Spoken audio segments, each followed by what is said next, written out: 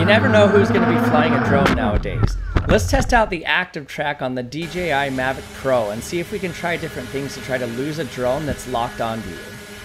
Okay, it's on ya. First, let's try running back at the drone.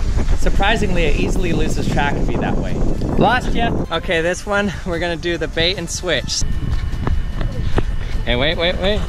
No, no, you run that way. Keep, you keep running. That didn't work, but let's try spinning around to try to confuse it. Dosey don't work. So now your friend just has to try to escape the drone. Now let's see if we can camouflage ourselves.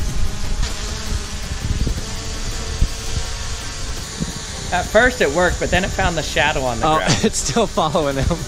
Let's see if I can just hide from it and try to sneak away. At first it loses me, but then it gets me just in the corner as I run away. Oh no.